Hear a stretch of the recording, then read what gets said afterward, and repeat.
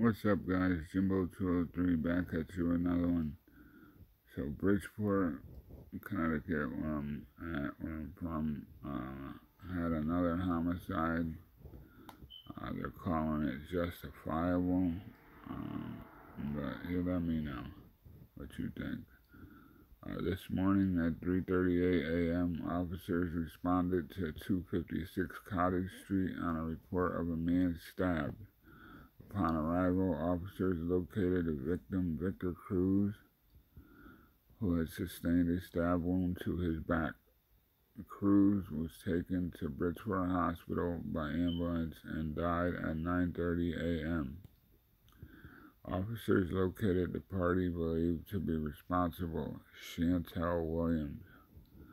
Williams was found to be in possession of heroin and arrested on drug charges. Members of the homicide unit were assigned to the investigation and interviewed Williams.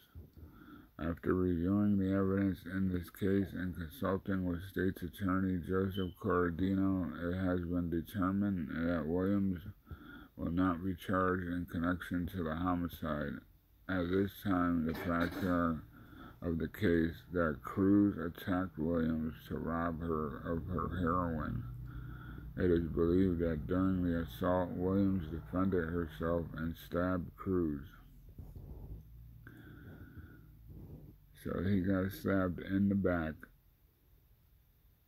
while he was taking her heroin, allegedly,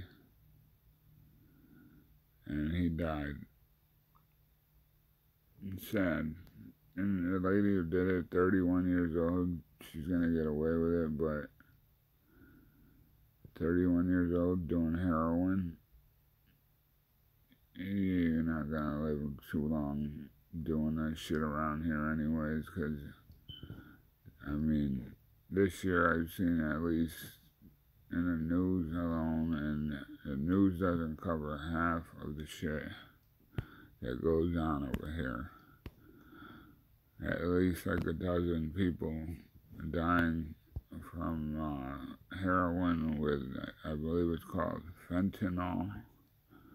It's in everything now over here. Like people are dying left and right. This 31 year old lady stabs this older guy and kills him because he tries to take her bag of heroin, allegedly. Still, rest in peace to the victim. Condolences to his family and friends.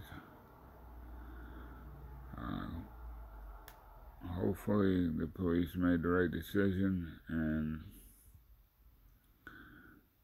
hey, I hope this lady turns her life around. This is a wake up call. Uh, now that she took a life, uh, if, if heroin wasn't in the picture, she may not have had to do that.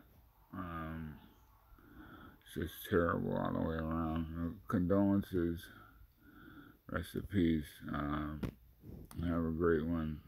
Everybody, uh, like, comment, subscribe. Show your boy some love. Peace. Jimbo203 signing out.